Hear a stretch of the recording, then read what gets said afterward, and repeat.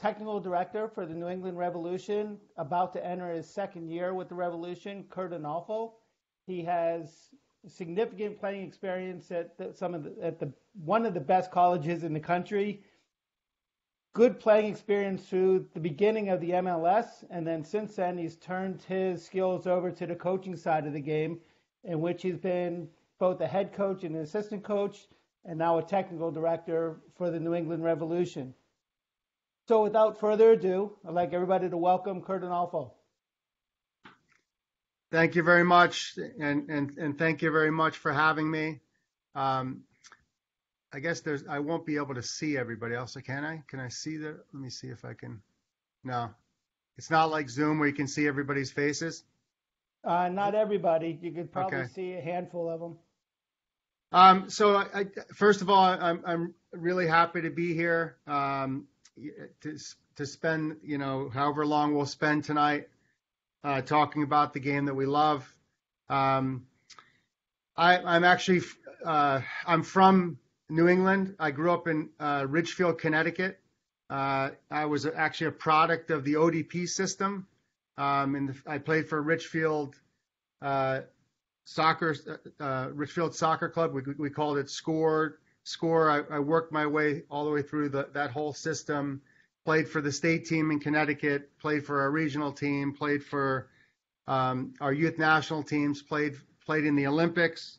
Uh, and this is um, this is really my home. In the for the, uh, when I was a little older, when I was 24 years old, I was actually diagnosed with cancer. And believe it or not, during that, I, I was I was somebody that was pegged to potentially make the 1994 World Cup team, but because I was sick, I actually Sunil Gulati was, you know, uh, very popular in this part of the uh, country. I actually walked the uh, World Cup trophy into the stadium, the old Foxborough Stadium. So this is for me, this is somewhat a little bit of a homecoming. Uh, to be with New England, I- I'm very happy to be what I feel like as home. Um, you know, I'm the technical director of the New England Revolution, and uh, that that title means a lot of different things. I've, you know, ever since I retired from playing professional soccer, I've I've been a, a coach, and and this is my first role uh, where I'm in, really in management and uh, kind of overseeing the soccer side of the organization. Uh, obviously, Bruce Arena is our is our sporting director and our head coach, and he is uh, amazing at what he does. Uh, he's a strong leader, has very very strong beliefs, and um, he obviously is the decision maker with with all of our all of our big decisions, uh, especially when it comes to the first team. Uh, I'm also, you know, I, I do whatever I can to help him uh, to be successful and hopefully take some things off his plate so that he can coach and continue to do the things that he does great. But I'm also in, responsible for the developmental system of the New England Revolution. So that's basically bridging the gap from the academy to the first team. We just started uh, the Revolution uh, 2.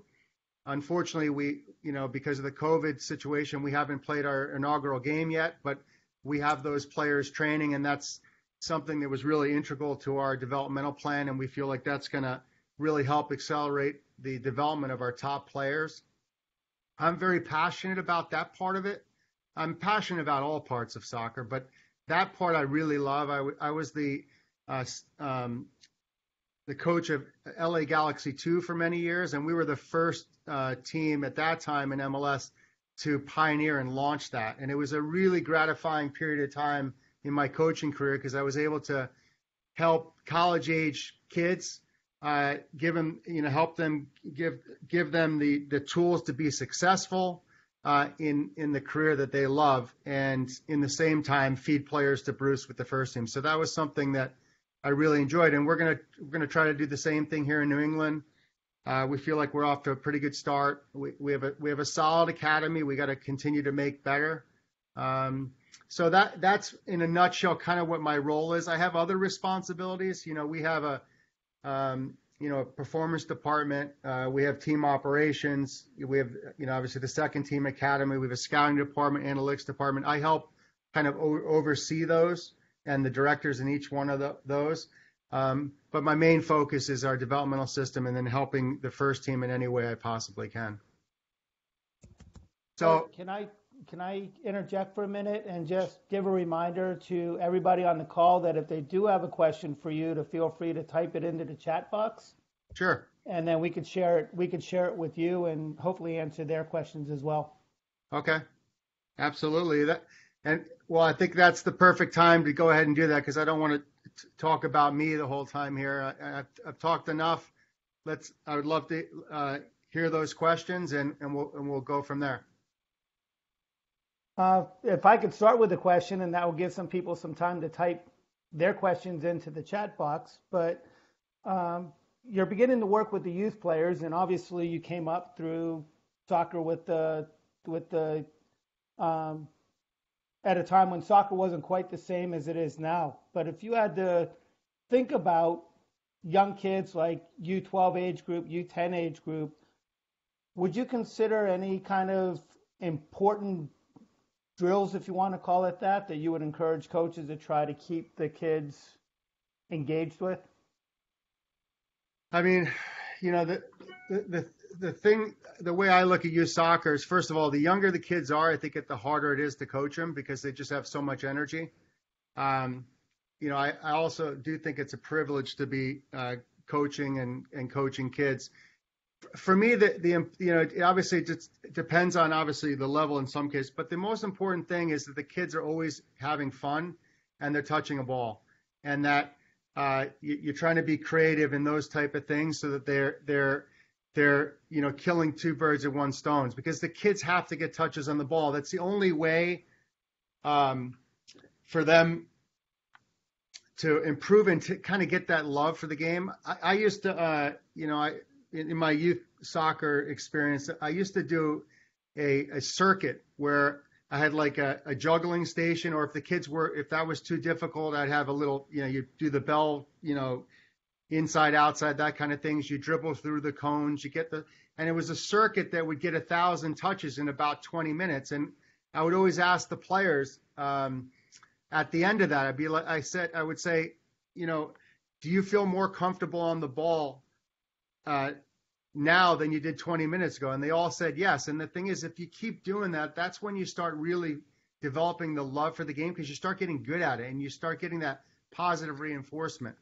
So I, I would just say that you know, not I don't have specific drills that I would would would bring up right now, but I just think if you, you got to maximize touches on the ball. So doing things where a, a lot of drills where they're getting touches, because that's that's going to help them uh, feel better on the ball and enjoy the game more.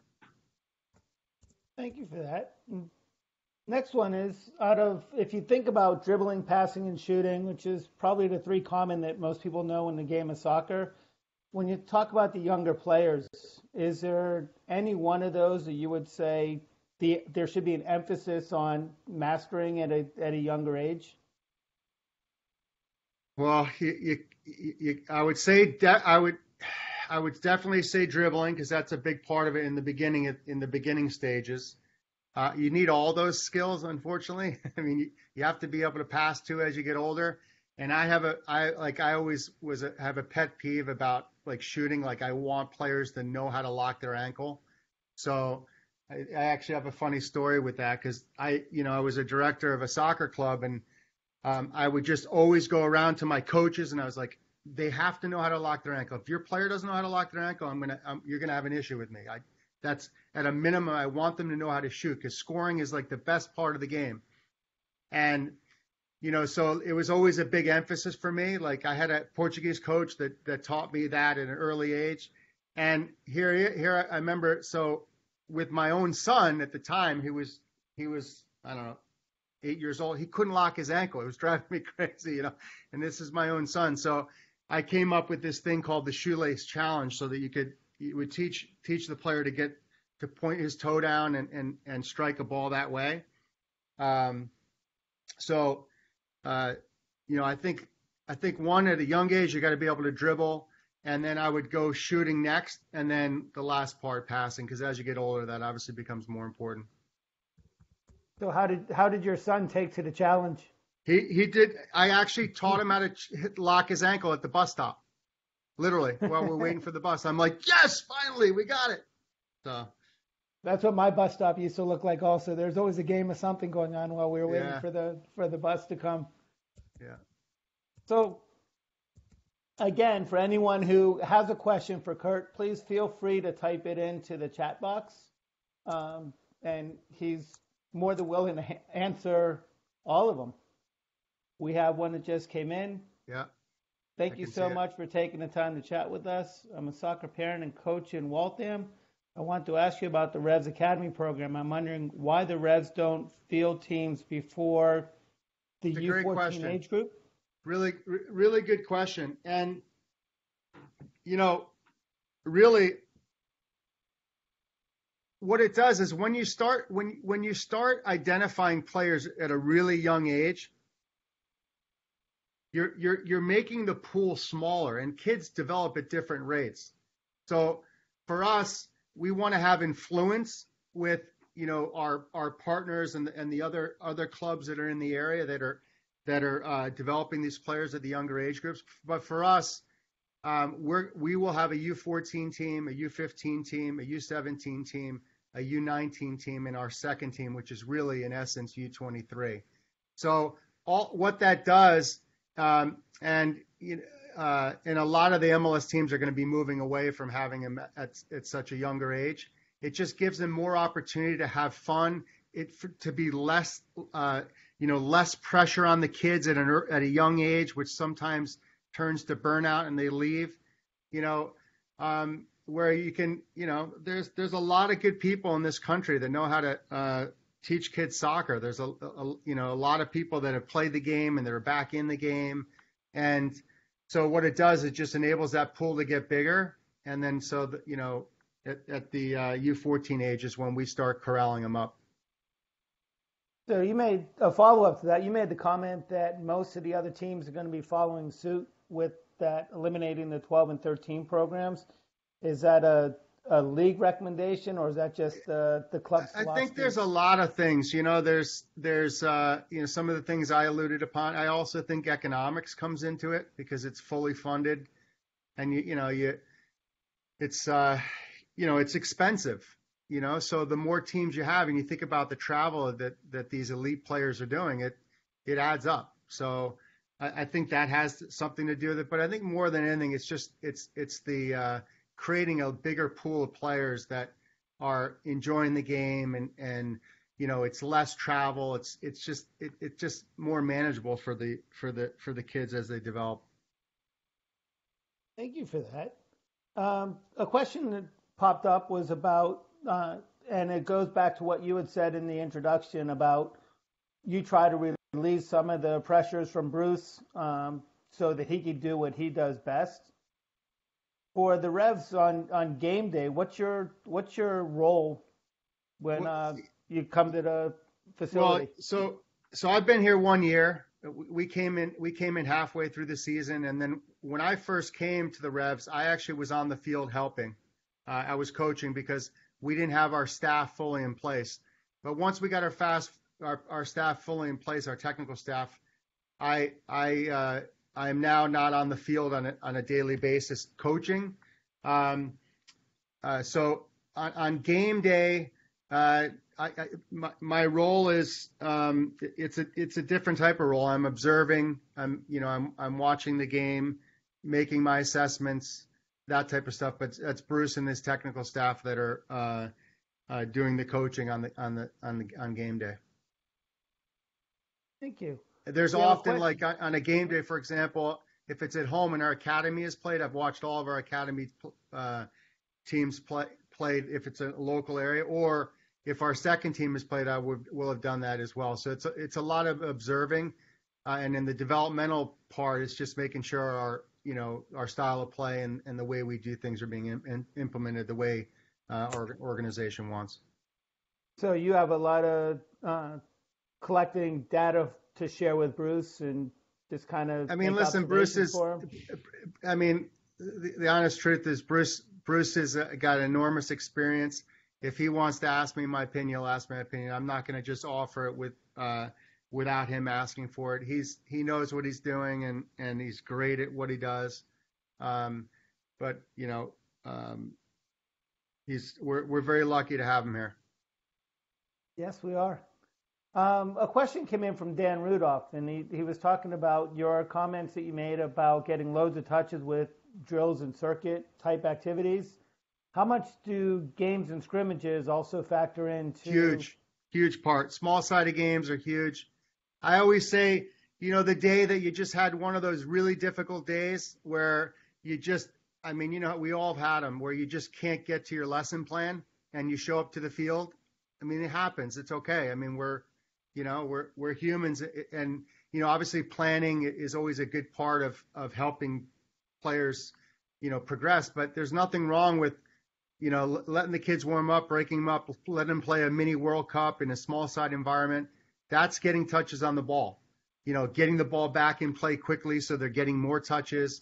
So you're not stopping. You know, like I, you know, with the with the young players, ball goes out, put another one in, let them play, let them get the touches and they you know and they they especially at the young ages they they they're able to um, go for a long period of time. And when they're tired they kind of just stop you know? Mm-hmm. and a lot of people just use drills as a generic statement but it sounds like most of what you're doing with the youth players is game like activities yeah you try to make it game like but they they have to have fun. There needs to be enthusiasm.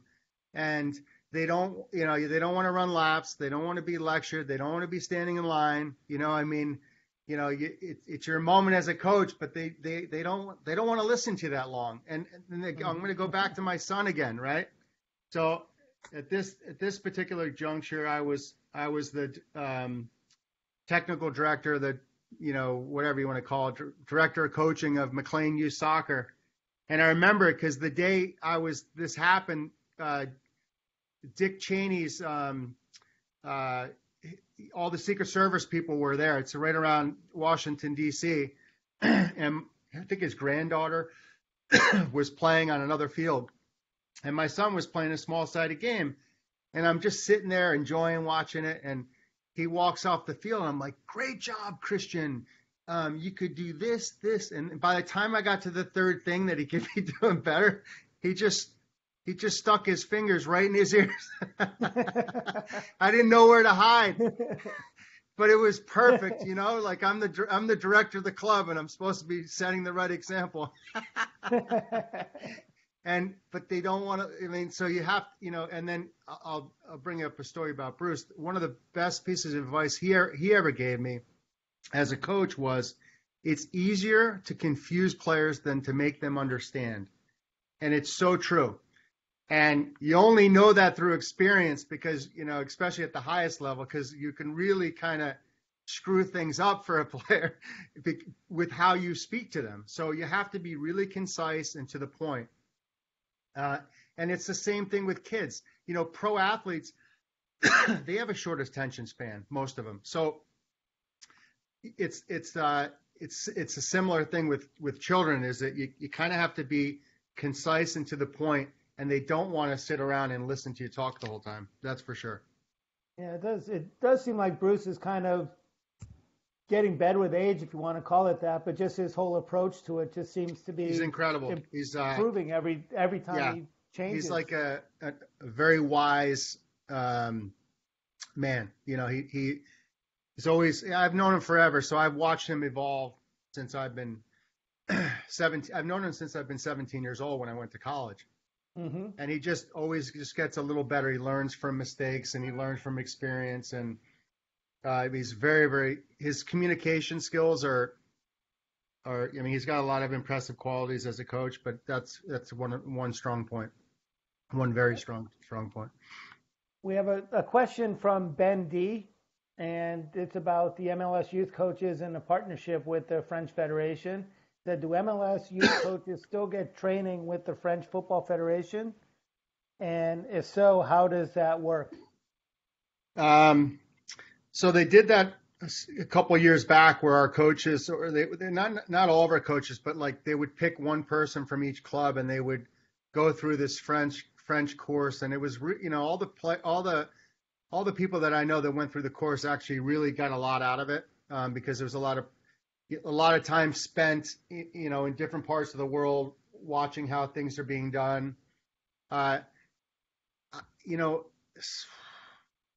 over, over the last two years, I, I'm not I'm not sure that we're doing that, but we do have a, you know, the technical director of the youth stuff for for our um, our league is Fred Lipka, and so he's he kind of comes from that school. So some of his some of the things that he's passing on is is is is from that. But in terms of doing that uh, F- French Football Federation stuff, I don't believe we're currently doing it. It hasn't come up on my desk since I've been uh, working here, which has been one year, really, almost to the day. So you're not getting an all expense paid trip to France to hang out, no, hang out not on at the this point. field. um, next question that uh, came through was about the experience you have and how it transfers, because you have experience with working with youth players and collegiate players and professional players uh, and different levels of professional players. What are the skills that directly transfer from working with the kids to your role as a technical director with the Revs? Well, I think with the the stuff with the kids, it, it, really helps me with the academy, you know, and, and it and um, you know, because I, I know how to I I've been there, done that, and I know how to relate to them, so I know how to talk to the coaches that are working with the younger players. Uh, but I I just think all the experience, you know, you, you learn from it all. You know, you, you you figure out what your blind spots are, you know, the, your weaknesses, and and how you can, uh, you know, hire people that maybe complement you and um, you know all those experiences you know you you know you, you, it's there's not a lot i haven't seen based on how long i've been doing this. Mhm. and so that always gives you confidence because um, you know the, and the beauty of soccer is there's no one right one right way to do it. But when you have when you have a lot of experience you you know like i've seen a lot of players come through the system. So i kind of have a pretty good idea of what guy's going to make it you know? Um, so i think all those things you got to be you know you got to learn from your mistakes and you got to be able to you know take those things to be able to hopefully make your system better. Um, and and and I like managing people. There's a lot of that that goes on with what I'm doing so I try to incorporate those things what I've learned from how you manage people and motivate people and when I've coached players and how to motivate them and you know um, so all those all those things are, are are done now a little bit differently in my role because you're you're kind of overseeing people as opposed to being on the field actually coaching the players. So you're coaching the coaches, you know, not in the case of Bruce because I'm not coaching Bruce, but you know, in terms of the um, you know our developmental system. Uh, so that that part that that, that I really enjoy, and it's very similar. You're just difference is you're managing kids versus managing the the adults. There's a lot of similarities. Well, we have a another question coming in from Dan Rudolph, and I'm going to give him the option. It's like Dan, would you like to unmute yourself and maybe ask um ask Curt the question Sure, directly? I- any I- I'd be happy to listen. I, I, I like it that way. Okay, can you hear me? Yeah. You were just talking about motivation. I was wondering if you had some tips, like what are your best what are your best tricks and methods for motivating players? Wow, it's hard to articulate it. I think, you know, for me, it's a lot of reading. You know, reading the players and and understanding the players. So I guess the best way, if I was to kind of break it down, um, you have to, for me, you have to have, you know, a relationship with the players. So you need to take the time to get to know the players, so that you kind of know what makes them tick, and based on that, you can, um, you know, you can find ways to to motivate them. Based, but the only way you can do it is if you got to know them. You got to get to know them. And I think what happens sometimes at the professional level, I think it and, and, may, and it happens at the youth level too. But I think sometimes coaches get they want to have their separation, you know, um, and that you know, and that's fine. You need to, you know, always need to, like at the professional level, you always have to have that respect, but you also need to get to know him. And, you know, David Beckham used to always talk about Ancelotti and how he was just such a great connect, connector, and he never raised his voice. He was always calm, but he always he was a relationship coach. He knew the players, and and based on that relationship, he knew how to make them tick. And at the end, they wanted to run through a wall for him, you know. So that that that part of that is is just developing those relationships and and and getting the players to want to play for you. So if you just tell them you got to play for me, they're not going to do it. You got to find they get you got to develop a relationship where they trust you, it, and and then you got to feel it. And then sometimes you know there's some guys you just gotta you gotta dig in and you gotta be you know you, you may have to be nasty to get them motivated. That's the only way they get they, you can really get the most of them. And other players you got to build them up. So everybody's different, and obviously with the youth players you can't be you know, having, these goes at the young players. I mean that's you know we got to be you know at the youth level be teaching through positive reinforcement and all the through discovery and all that kind of stuff because that's how you stimulate the kids and i think that's how you motivate them too and they want to be encouraged um, but at the at the professional level sometimes you you know you you got to find ways to you know to kind of get them going a little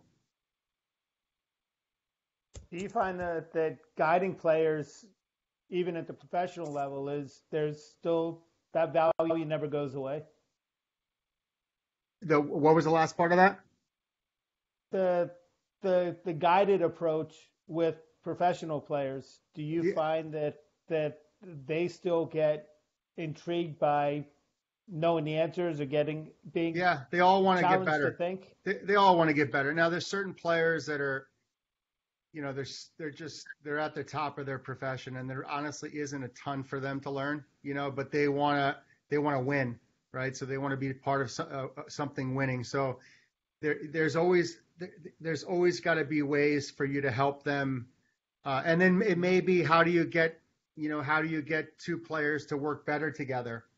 How do you get them to believe in each other and work, you know, and those and those challenges uh, come about. But yeah, it's all it, it's all in, in, important stuff. You got to you got to know who you're working with and what and, and what makes them tick. Do you ever have any of those players that are almost the personnel is just tell me what you want me to do? Yeah, And- there are some. Yeah, like everybody's different. You want to try to, um, you know, you want to try to, you know, teach the, the players how to solve problems. So uh, if you have too many of those type of guys, you're going to have issues because inevitably the thing breaks down and you got to figure out things for yourself.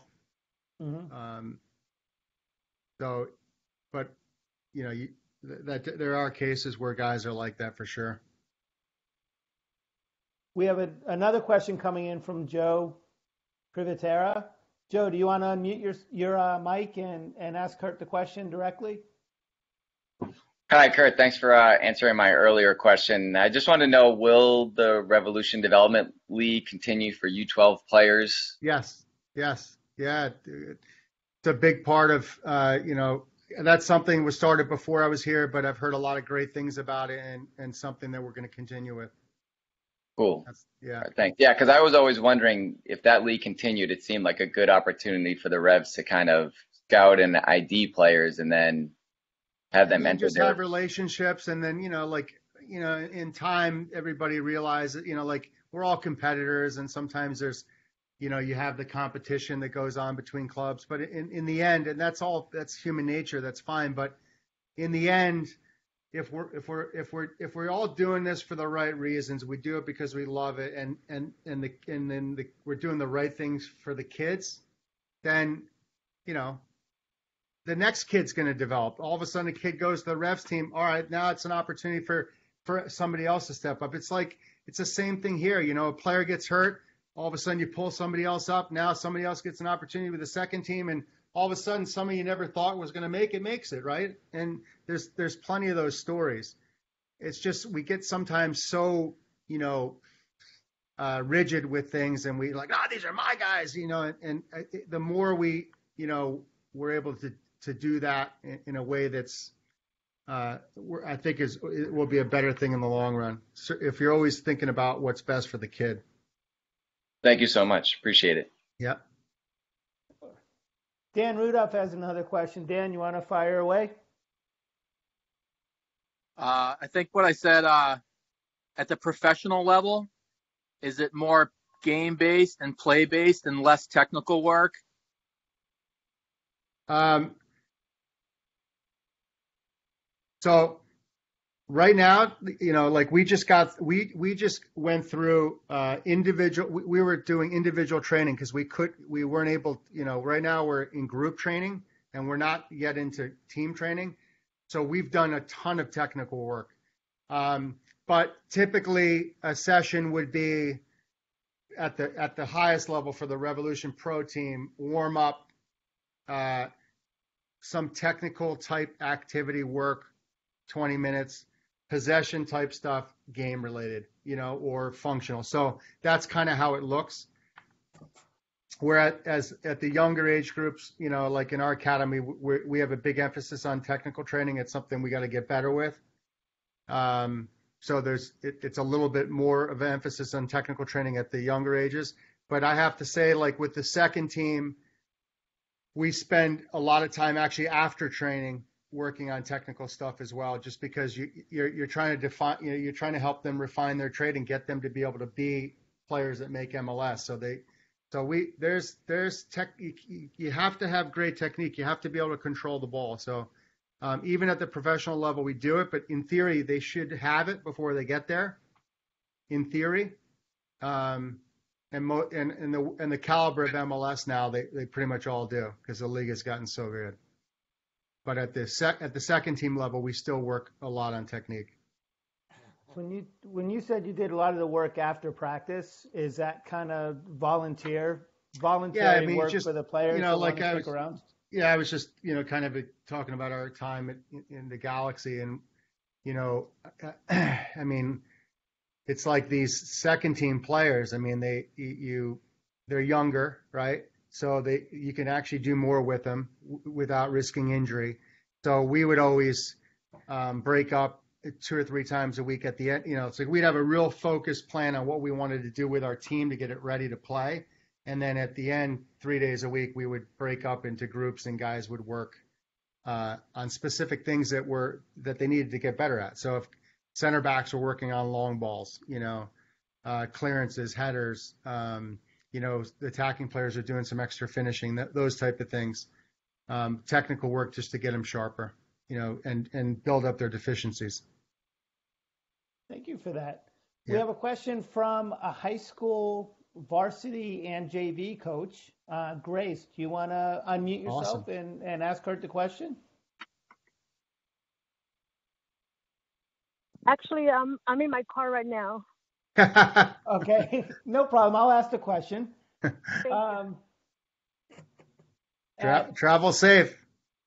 Yes, absolutely. So, do your athletes focus on one position, or do you encourage them to work of work at varying positions?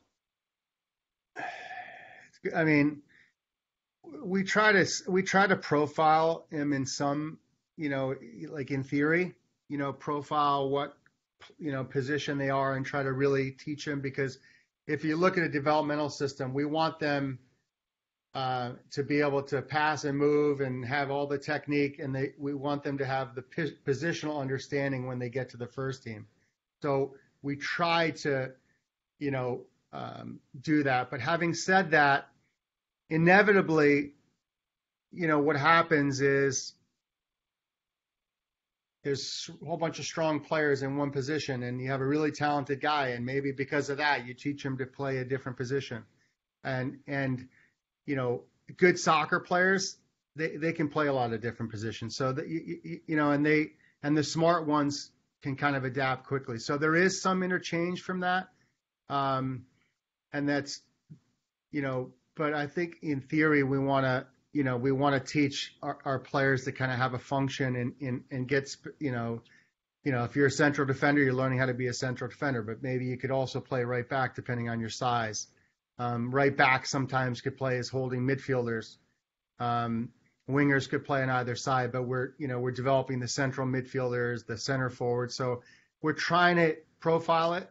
It's never perfect because you know things happen and you know you have to be able to adapt and sometimes when when you adapt you find out something new from a player that you never knew oh wow that guy actually does great in that spot you know so we're not so rigid in our approach that we can't move from it, but we, we try to have some profiling. When did you realize you were a defender? Well, I started out the first time I ever made the national team program. I was an attacking midfielder, but I just kept hmm. getting pushed back each each year. I got older and older. You know, at one time I thought I was going to play goalie, but um, I, I honestly I did.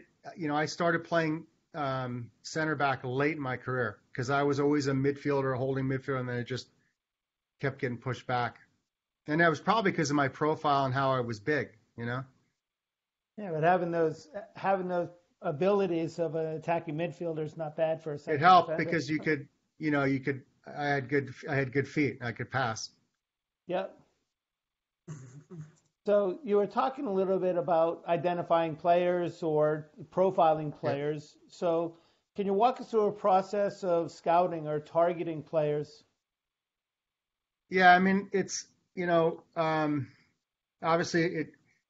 We try to, you know, we try to um, be very comprehensive of it. We have, you know, we have, we have, we, we have um, a director of scouting. We have a recruitment manager. We have an international scout. So we we we try to have a really good presence so that we know uh, the market as best we can. Um, but having said that, it comes down to needs, and so and you know Bruce is very good at because he's got so much experience at kind of forecasting what he's going to be needing. So based on what his needs are, and kind of what the budget is, we go and we go and look for a player, and and you know there's kind of that's our that's our process. So And then we have our staff look at it, and we make you know if it checks all the boxes, then we move forward. so what are those challenges on? Because you had mentioned international players. What are some of the challenges of bringing those international players, and at what age you actually trying to bring them in? There's a lot of challenges because um, you know there's 26 teams, and there's 26 teams that are looking for quite often similar player pool, right? So there's times we have a discovery process where we we we, we identify players that we like, you know, and possibly could could need at a later date. We put them on a discovery list, but sometimes when we put them on that discovery list, another team in the league has already discovered them. So then in theory we don't we can't get the player. So there's there's those kind of things that get in the way. Um, and then you just can't hodgepodge put a bunch of you know random people together. You gotta you gotta kind of have a really good idea what the person's like. What you know, does he have a family? Um, you know, what's he like? You know, how is he under pressure? Is he does he have strong character? All these things. All you know, you, you look at the full picture and see, and then you got to meet him. You got to watch him play, and then you got to look him in the face, and you got to you got to see how uh, that interaction is and that feel that you have because that's important. So there's there's a lot of things that go into it, and it's, it's not an exact science. I mean, there's teams around the world that spend millions and millions of dollars on players, and they don't always get it right because there's so many variables. You think about what could go wrong in a in a young a young person's life that has to perform, right? You know, things happen all the time. Are you more likely to bring in uh, an a, an older, experienced player and take a gamble on them, or a younger player? It, it just, you know, I, I feel like the league is is is getting away from that a little bit more, and there's there's more of a younger trend coming. Um, but it's certainly having a player that's at a, at a at a good age, that isn't too old, that understands their role and how to play. I mean, those are those are, are great opportunities, but sometimes they cost too much. So you know, it, it, it, you're dealing with a lot of different things. You're dealing with, um, you know, cost, age, um, you know, needs of the player. Do do we have enough international player slots to be able to, you know, to sign somebody? So those are there's a lot of different things to think about as as you're putting together a team. Yeah, it kind it kind of overlaps uh, another question that came up, and it's about the transfer and salary caps for MLS compared to uh, many other countries. How are those? And I think you hinted towards Yeah. it pretty much, but how do those challenges uh, come into play when you're looking to bring those international players in. Um, Yeah, yeah. I mean, yeah, like I said, the discovery thing become is is one challenge. Um, you know, where do you pick the players from? You know, I mean, you know, there's, you know, there's great players everywhere. So can, how do you how are you going to pick a team where everybody kind of you know comes comes together and, and becomes a team because that's a big part of it. Uh, and then, you know, we don't have an un, there's there's not an unlimited budget. Although the league is is spending more and more money on players each each time. Um, that the, the whole economic part, uh, you know, will affect who you can go after.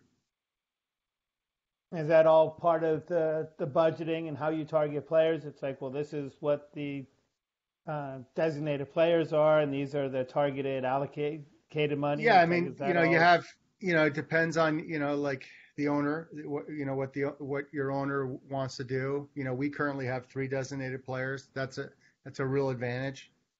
Um, if you if you have the right ones, um, you know, but but all the all those things play come into play and how you, you know, and then, you know, how much money you have left on your on your cap and how much you know allocation money and all these different mechanisms for getting players. So it's a lot it's a lot to manage and um, you know you, you you try to do the best you possibly can so you can have the best best roster you possibly can under the circumstances with the amount of money you have.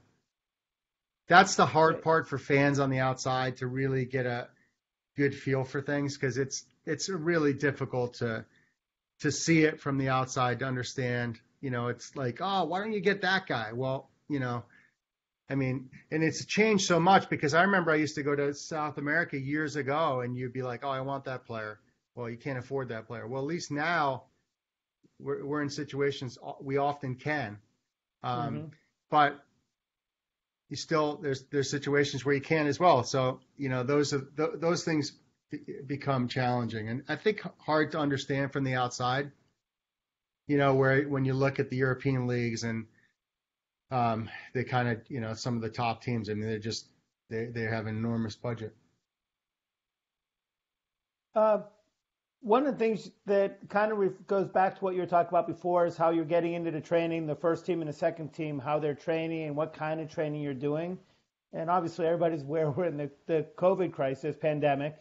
Uh, how's that influencing or affecting the players and their behavior? You have international players, you have American players. Are, are they expressing any concerns? We have such an amazing uh, group of guys. Um, so we have we have a group of players that want to play and are very grateful to be out training now.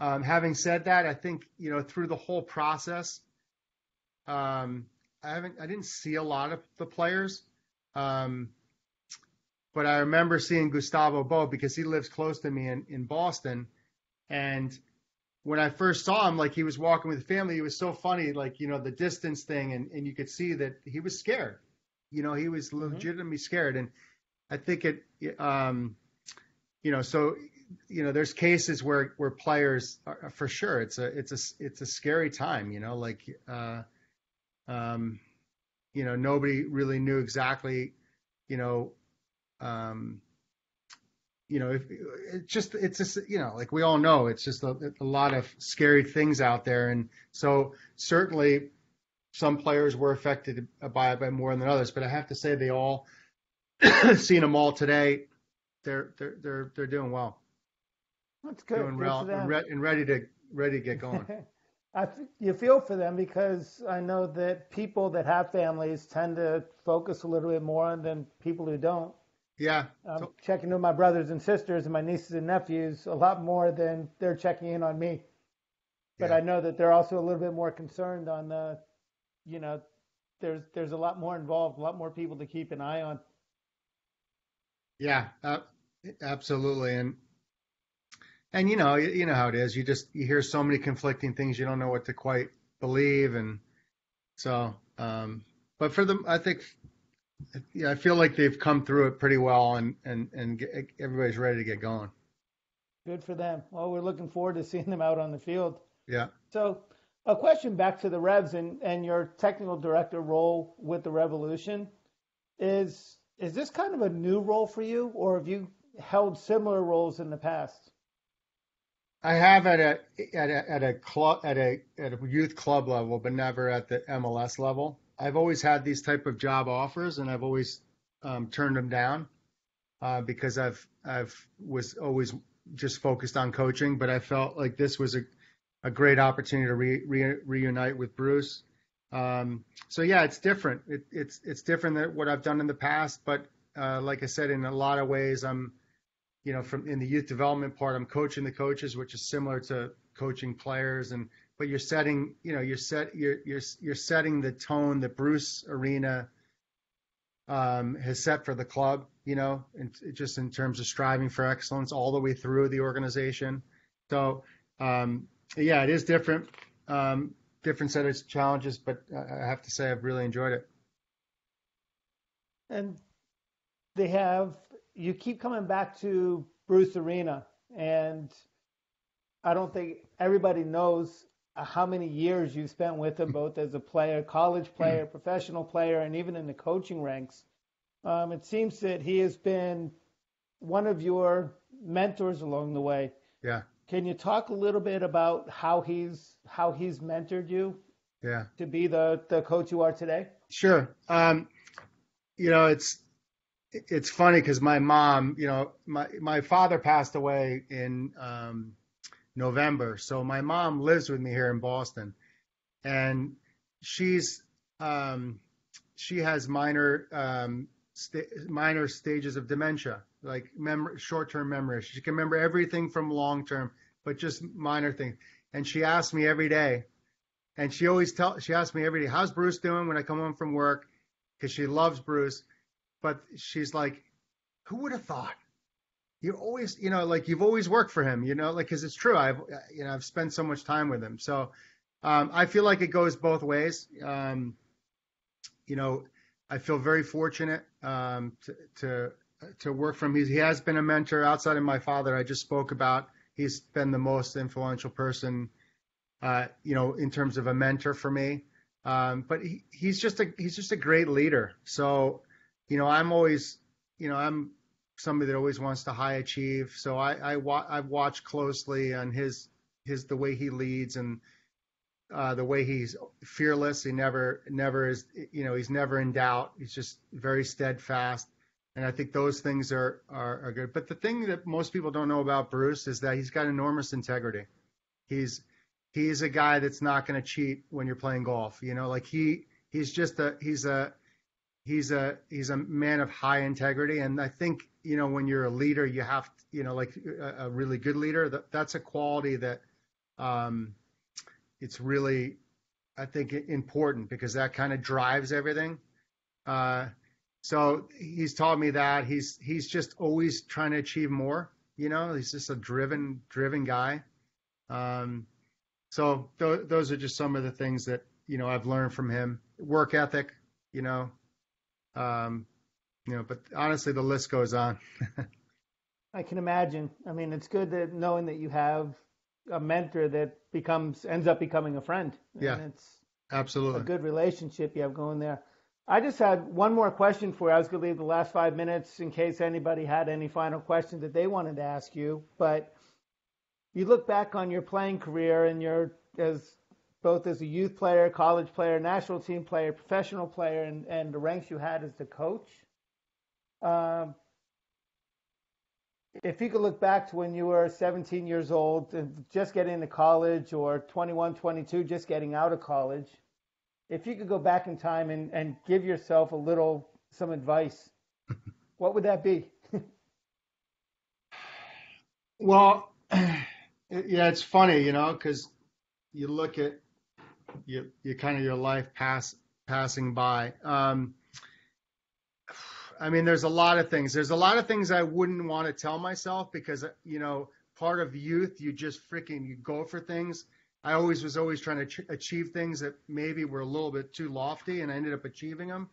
So I wouldn't want to change that, but I would say detail. Um, devil's in the detail. Like you, uh, you know, I'm a big picture guy and I've learned that the detail stuff, you know, like if you set your goals, you know, um, you, you need to, you need to work on the details to get there. Um, I would say I would, I would reiterate to my 17 to 22 year old self that you, in this profession and what I just chose to do for a living, you have to prove yourself every day. You, you, it's like, it doesn't like I mean, it literally doesn't matter. You could just have won a championship, and then the next year you could be fired, uh, you know, halfway through the season because it's just Mhm. a, it's just it's an unforgiving business. So you got to prove yourself every day, and you can so you, you can never take things for granted. I would say that. Um, and then, you know, an old like an old Irish guy gave me this advice and that's what I'd want to tell myself earlier. So I was um, at the time I lived in LA and I was living near the beach. I'd walk down to the beach at night, and I kept seeing this this this this older gentleman. He was probably in his 80s, and at the time I was, you know, mid 40s, and um, you know, finally we always talk, and he loved soccer and he loved Robbie Keane, and he knew what I did, and at the time I was assistant coach for for the Galaxy, and I. I asked him, I go, do you have any advice for for a man, you know, half your age? And he said um, two things. He said, in your profession, follow your brain more than your heart, and it actually was spot on because I'm like, uh, I de- I definitely am one of those people that uh, gets very emotional with players, and there's times in this profession where you actually have to make really cold, hard decisions that are hard to make you know, and you your heart tells you no, but your brain says you got to do it. So I actually would, I think I would say that to myself. And then he said, "Don't be the richest man in the graveyard," and I, I would I would agree with that too. So that was another another piece of advice I wish I got a little earlier in life. Probably would have made a lot, not the richest man in the graveyard one, but the one following your brain a little more than your heart. In my profession, probably would have helped me in some other jobs that I've had earlier. So those are things Sounds I would like say. good advice. We have It's a great question. question, by the way.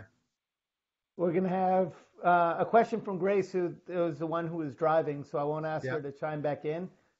But it's uh, she coaches in a rural school, and she wants to know how she can help athletes improve their chances of getting noticed by MLS.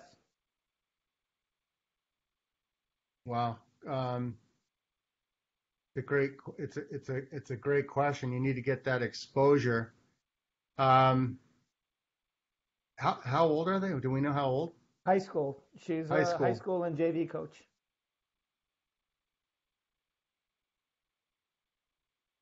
Yeah. I don't know if I have the, the, the answer for her. Varsity. Oh, varsity. I mean, Yep. obviously the way to get noticed is to excel there. I mean, I mean, like, uh, I mean, things have changed because the, the, you know, in, you know, most of the players are playing academy now, the MLS league. Uh, I don't know what their stance is going to be necessarily be about college soccer, but I would, I would just say that they just got to do the best they possibly can. And maybe if there's somebody that's really good that you really believe in, uh, I would, you, you, you, you just as the coach, you got to get to try to help the kid get noticed. You know, try to you pick up the phone and and and call somebody to see if they can get a look. That that's what I I guess that would be my recommendation. But try to try to do the best they possibly can and stand out in that in that particular team they're playing for. So we get a thumbs up for that. So thank Yeah. you for that. Good. um, and then final qu- question before we wrap it up, because it's almost 8:30, is from Rob. Um, he just wanted to know if you had any thoughts on the proposed format for Orlando. I mean, listen, I think it was a really creative idea uh, for, from the league to find a way to, um, you know, buy time in local markets and get soccer on the on you know on TV so people can watch it and hopefully we could you know make our fans happy. But who knows? Maybe we could find some new, you know, generate some new fans as well. So I, I think I think it's I think it's fine. It's uh, I think it's a, a smart solution under a difficult difficult circumstances. It's never going to be perfect, uh, just because it's a huge undertaking. Uh, but Mhm. it's certainly going to be a you know a platform where where we can, uh, you know, play games and, you know, hopefully do well in those games and then set us up for the rest of the season. Thank you for that. Yeah. And uh, thank you very much for spending your time with us tonight. My pleasure. Um, it's a late night and you have a, a journey back to Boston, but Yeah. thank you very much. It's very informative and like Yeah. everybody else, getting a chance to talk about soccer nonstop is probably at the top of a lot of people's list right now. So, Yeah, it's fun. It's fun. So my pleasure. I'm really happy that you guys had me on, and thank you for everything you're doing for the state of Massachusetts in soccer, and for all the coaches or whoever, whatever their roles are that are on the call. Um, thank you for your time and uh, support the Revs. I know Oh, you. go I know you guys all do, but continue with it. we have we have uh, we have awesome owners. I'll say that that have uh, supported us all the way through this unwavering. So we're we're very grateful to them, and we're we're looking forward to having a great season. Well, thanks to everybody who joined in. We appreciate you spending another coaching conversation. Remember tomorrow at 2:30 we have another coaching conversation, The Artful Dodger. We hope you could join us for that at 2:30 right here on bluejeans.com. Curt, thank you very much and good luck preparing for the upcoming season. Awesome. We'll see you guys. Take care. Yes, Bye. thank you very much. Yeah. See. Safe. Thank you. Thank you. See you guys. Bye.